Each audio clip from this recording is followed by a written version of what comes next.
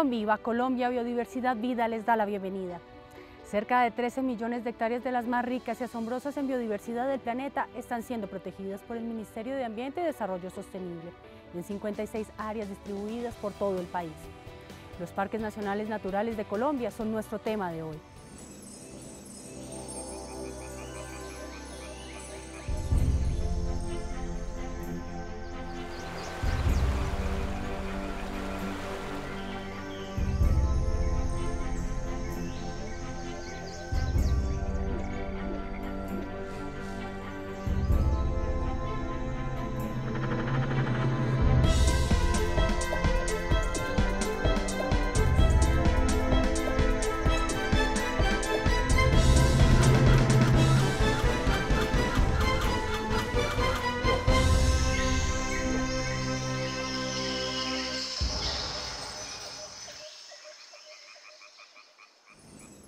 Proteger ese invaluable patrimonio natural único en el mundo que se encuentra en nuestros parques naturales nacionales no es un asunto sencillo. El ministro de Ambiente y Desarrollo Sostenible, Frank Per, nos habla hoy de las estrategias de protección impulsadas por su cartera para hacer de estos paraísos naturales el mejor legado para los colombianos. Estamos en Santa Marta, al lado de la Sierra Nevada. Hoy vamos a hacer un programa sobre parques nacionales. Colombia tiene 56 áreas protegidas, 41 parques naturales. Los parques en general están muy bien conservados. El 99% del área está bien protegida, pero en el 1% del área restante tenemos problemas que estamos resolviendo. Tala de madera, presencia de grupos ilegales y asentamientos ilegales. En, el, en el programa les vamos a mostrar lo que está haciendo el Ministerio y la Unidad de Parques Nacionales para que los colombianos nos apropiemos de los parques y para resolver los temas que tenemos pendientes.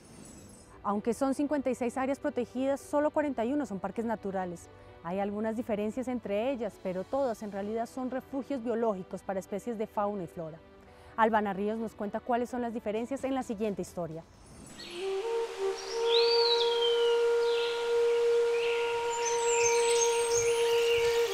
Sería injusto pensar que las palabras podrían describir la belleza de cualquiera de estos lugares sencillamente porque cada uno de los parques naturales nacionales de Colombia son un pedacito del paraíso. Colombia es uno de los países con mayor biodiversidad biológica y cultural del mundo. Para proteger este patrimonio que ya es de la humanidad, se crearon áreas protegidas que albergan los más importantes refugios vivos para especies animales y vegetales, que se conocen como Parques Nacionales Naturales de Colombia. Área protegida es la que ha definido la ley con los siguientes atributos, que es muy importante tener en cuenta todos y cada uno de ellos. Que haya sido definida geográficamente, que haya sido designada por la autoridad competente, que esté regulada y administrada, es decir, que efectivamente haya gestión en ella, haya gente trabajando por ella. En total, se trata de 12.602.320 hectáreas ubicadas a lo largo y ancho del país, incluyendo sus mares territoriales. El sistema de parques nacionales de Colombia está compuesto por áreas concretas de protección que van desde Leticia hasta La Guajira y desde el Pacífico hasta las inmensas llanuras del Oriente. Colombia lleva declarando parques desde 1960. Las leyes para proteger estas áreas son cada vez más drásticas y no es para menos. Colombia tiene que conservar un patrimonio natural que incluye el primer lugar en el mundo en biodiversidad de aves y anfibios, entre 1860 y 1885 especies, una riqueza que pasa por 4.010 especies de orquídeas y en general porque este país es una de las 12 naciones megadiversas del planeta. En la Constitución de Colombia hay un artículo que establece que los parques nacionales son inalienables, imprescriptibles e inembargables. La misión que tiene Parques Nacionales Naturales es la conservación in situ de la biodiversidad, de los bienes y servicios ambientales, así como de la cultura y la tradición de las comunidades. Comunidades indígenas del país que habitan las áreas protegidas y son los aliados estratégicos para su conservación. Tenemos comunidades eh, que, nos, que están viviendo entre los parques, las comunidades indígenas. Tenemos el acompañamiento de, las comunidades afrodescendientes que hacen uso por ley dentro de las áreas también. Tamaña riqueza es un enorme privilegio para cualquier nación de la Tierra, pero implica también la responsabilidad de conservarla para las generaciones futuras. Y eso es lo que hace Parques Nacionales Naturales de Colombia. Pero los parques nacionales naturales están amenazados. La minería ilegal, la expansión de la frontera agrícola y ganadera y el mismo narcotráfico están poniendo en riesgo la vida que crece en estos santuarios. Miren por qué. Varios enemigos se ciernen sobre los parques naturales de Colombia. Toda la transformación que genera, digamos, el desarrollo, pues asociado ya sea a ganadería, agricultura, eh, todo el tema de tala, eh, minería. Pero no todo es culpa del ser humano. Pues también hay amenazas naturales, entre ellas pues todo el tema asociado al calentamiento global que también trae consigo también la pérdida o la adaptación de una gran cantidad de especies. Hay que sumar las presiones, las amenazas, la inseguridad, el narcotráfico, los cultivos ilícitos y el desarrollo de algunas actividades económicas. Tenemos una muy fuerte presión por pesca en las áreas eh, marinas que hacen parte del sistema de parques nacionales naturales y de igual forma eh, tenemos algunas dificultades por el turismo no ordenado que se realiza en las áreas del sistema. Las consecuencias se manifiestan en altas tasas de deforestación y pérdida de cobertura boscosa de aproximadamente 16.800 hectáreas por año, más o menos el tamaño del Parque Tayrona. Tenemos una tasa de deforestación aproximada para que pues, se pueda hacer el símil de cuatro canchas de fútbol por hora dentro del sistema de parques. Y la minería, práctica que generalmente conlleva el retiro de la cobertura vegetal, generando fuertes alteraciones al ecosistema. Se utiliza em, ácidos muy tóxicos también o químicos como el mercurio para, para el procesamiento del oro, entonces pues esto genera también gran contaminación sobre las aguas. Gracias a la restauración ecológica, se han intervenido cerca de 10.000 de las 256.000 hectáreas afectadas. Las áreas protegidas se convierten en un sitio de de anidamiento, de repoblamiento y si, si están siendo afectadas, pues lógicamente los recursos no son sostenibles. Solo con un cambio de conciencia se podrá ganar la batalla. Las armas, la educación ambiental y la responsabilidad y el compromiso de cada colombiano de respetar los parques y sus ecosistemas.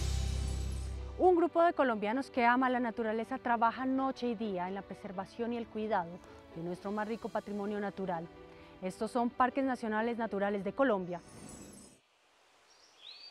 La gran mayoría de quienes trabajan en parques nacionales naturales aseguran que para estar en esta entidad se necesitan dos cosas. La primera, estar enamorado de verdad de este país. Y la segunda, tener vocación de errante y aventurero.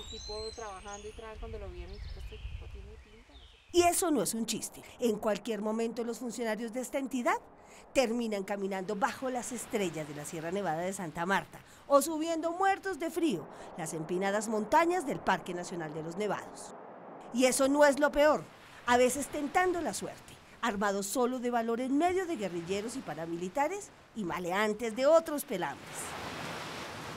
Es una persona que sabe que conservar la biodiversidad implica entender las problemáticas de la sociedad, entender las problemáticas de la comunidad, entender muchos de las eh, dimensiones sociales y humanas que implica la Colombia rural. Eh, por ejemplo, entender que hay zonas de difícil trabajo por cuestiones asociadas al conflicto. Parques Nacionales Naturales nació hace 52 años. Parques Nacionales es una institución adscrita al Ministerio de Ambiente y Desarrollo Sostenible cuya misión está dividida en dos líneas principales. La primera es proteger a perpetuidad el patrimonio natural y cultural de los colombianos. En total, desde la Dirección Central en Bogotá se coordina todo el sistema de áreas protegidas de Colombia. Eso incluye los parques naturales, las zonas protegidas por las corporaciones autónomas regionales y hasta áreas de protección de carácter privado en parques nacionales naturales. Trabajan desde biólogos, sociólogos, antropólogos, ingenieros forestales, hasta guardabosques y guías. Hoy en día la planta de personal de parques nacionales es de algo más de 550 personas. Adicionalmente a eso tenemos una serie de apoyos eh, a manera de compañeros que trabajan por prestación de servicios que suman alrededor de otras, otras mil personas para sumar alrededor de más o menos 1.500, 1.600 personas. La próxima vez que usted vea esta camisa, recuerde que se trata de funcionarios de parques nacionales naturales. En realidad, un ejército de soñadores, empeñados en proteger la vida y el patrimonio natural de esta nación. En minutos les presentamos cómo se protegen las especies que habitan los parques nacionales naturales de Colombia. Hoy le seguimos el rastro al oso de anteojos.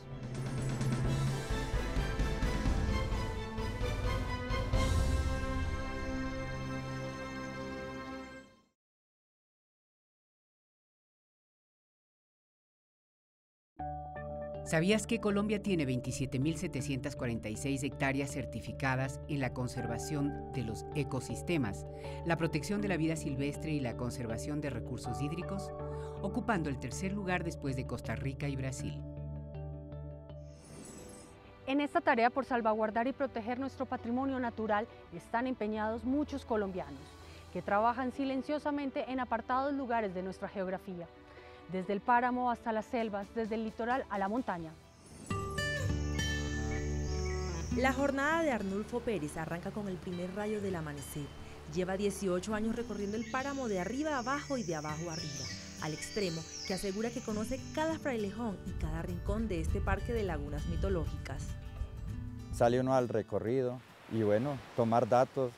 Eh, en sí, por ejemplo, es si encuentran unos rastros eh, de oso o velos o todas esas vainas. Entonces van tomando datos en su libreta de campo. Itinerarios que a simple vista se pueden convertir en una película rutinaria de solo naturaleza, pero que para Arnulfo es una labor apasionante y de alguna manera para él su razón de vivir. Yo creo que uno tiene que, que nacer como con un espíritu de conservación. Un deber que muchas veces lo ha enfrentado a situaciones que lo llenan de coraje y de esa rabia que saben sentir los que odian la injusticia. Ver cómo llega uno encuentran ya los, los cazadores ahí con sus perros, sus escopetas y, y el venado muerto ahí. Es probable que uno sienta como coraje y rabia con ellos. Realidades que lo sumergen en una profunda reflexión para enseñar. Menos yo pienso que, que eso es falta de conciencia, de no, de no no terminar con los animales, porque ellos simplemente lo que les importa es matar y, ya, y no, no, piensan en las nuevas generaciones. Un parque natural al que ha visto crecer, animales que ha cuidado con celo y donde se han afianzado lazos que son del alma. Lazos que en la mayor parte del tiempo ha sacrificado al estar lejos de sus hijos y su familia, pero que en medio de este oficio surgen mucho orgullo y admiración.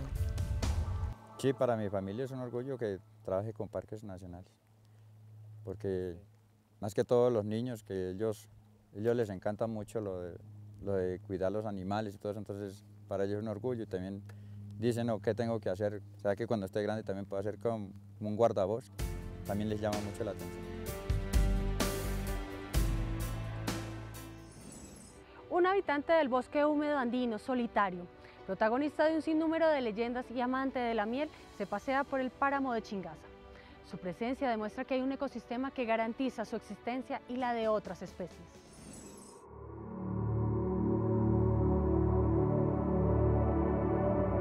Es el rastro imponente de las poderosas y afiladas garras de un oso de anteojos que merodea sigiloso y esquivo estos fríos retazos de bosque en el Parque Nacional Natural Chingaza, en Cundinamarca. Este es un pasadero de oso. Es otro tipo de señal y tiene que ver con sus movimientos.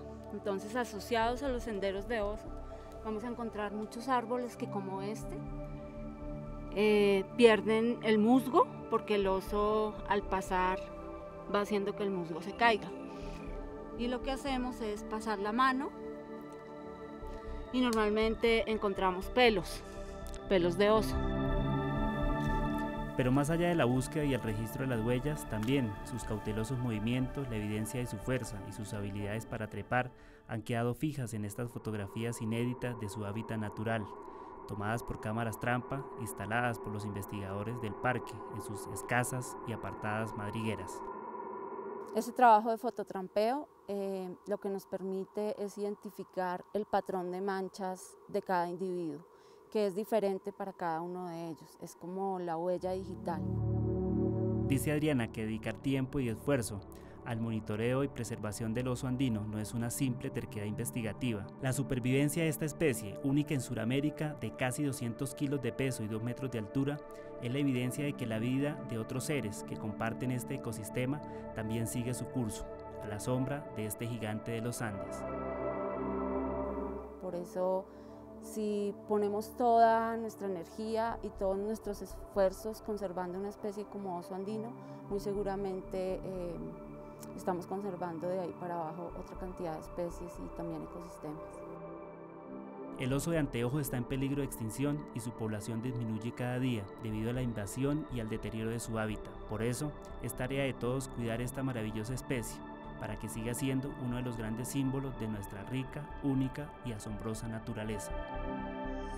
En la actualidad hay especies de fauna y flora que fueron traídos a Colombia con fines económicos o científicos, que se han convertido en verdaderas amenazas para nuestros parques naturales. Esta es la historia de las especies invasoras.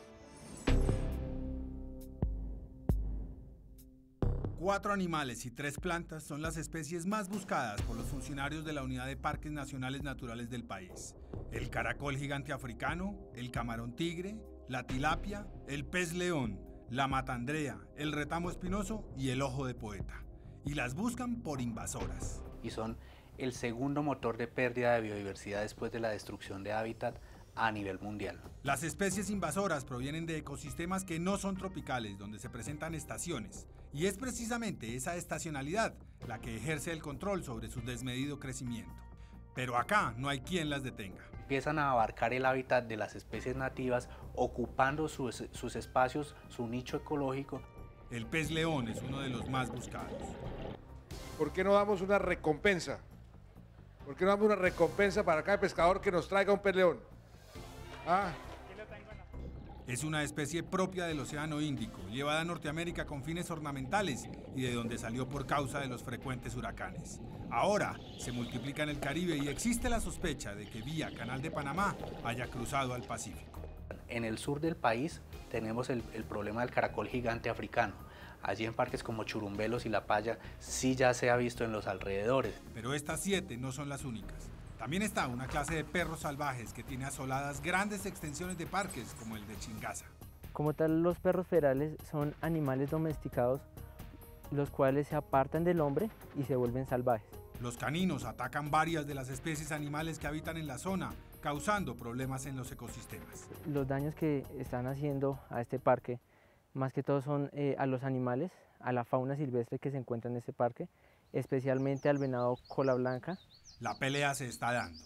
El Ministerio de Ambiente y Desarrollo Sostenible acaba de emitir el Plan Nacional para el Control de estas especies, que traza las pautas sobre cómo enfrentar a los pequeños invasores, amenazas latentes de varias especies que enriquecen nuestra biodiversidad. En nuestros parques nacen buena parte de los acueductos que abastecen a las principales ciudades del país. El Parque Nacional Natural Chingaza es el mejor ejemplo de ello. Este es el Parque Nacional Natural Chingaza, enclavado en la cordillera oriental de los Andes colombianos. Desde 1977 es un área protegida, porque es el reservorio de agua más importante del país. Aquí, la naturaleza diseñó cuidadosamente cada especie, no solo para soportar el frío, sino para almacenar cuidadosamente todo el agua que está en el aire, en la tierra y en cada centímetro de este lugar. Son captadores de agua, entonces captamos el agua de la neblina, de la lluvia, se retiene a través de toda la vegetación que hay en el, en el páramo que está diseñada especialmente para captar, almacenar y retener el agua.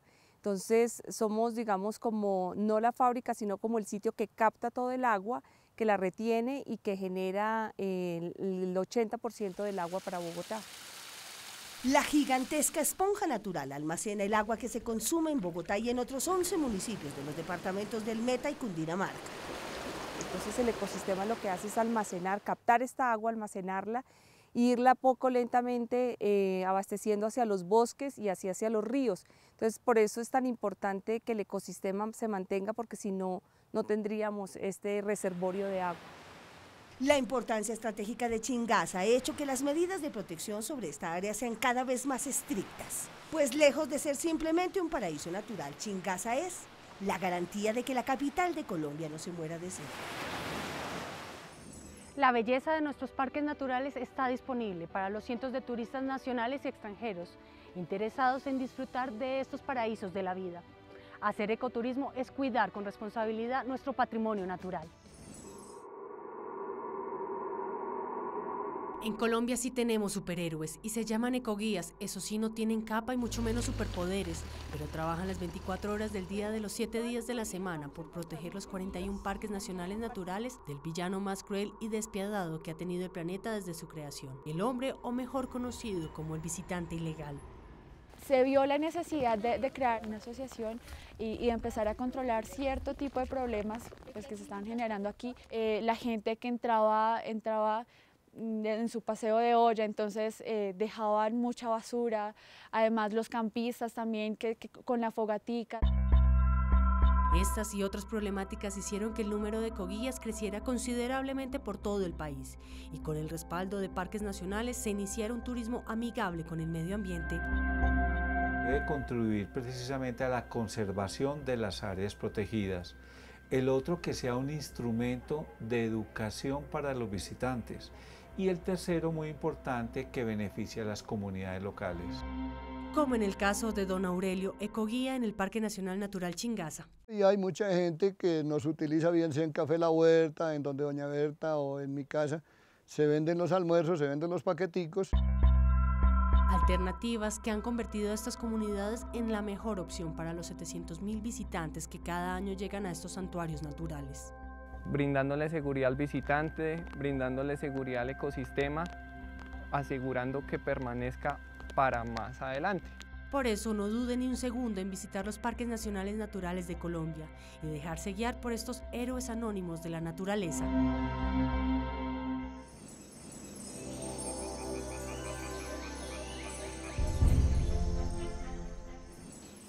A lo largo del programa hemos visto la belleza que tenemos y la riqueza que tenemos en los parques nacionales naturales.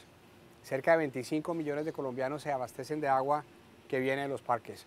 Yo quiero invitarlos a que los colombianos nos apropiemos de los parques, a que pensemos que todo lo que pasa en los parques es nuestro, nos afecta a nosotros y nos puede ayudar. Visitemos los parques, cuidemos los parques, hagamos el propósito. Todos los colombianos vayamos a un parque natural en el próximo año. Después de unos mensajes institucionales les contamos cómo se pueden comunicar con nuestro programa a través de las redes sociales. Su opinión es importante en Colombia.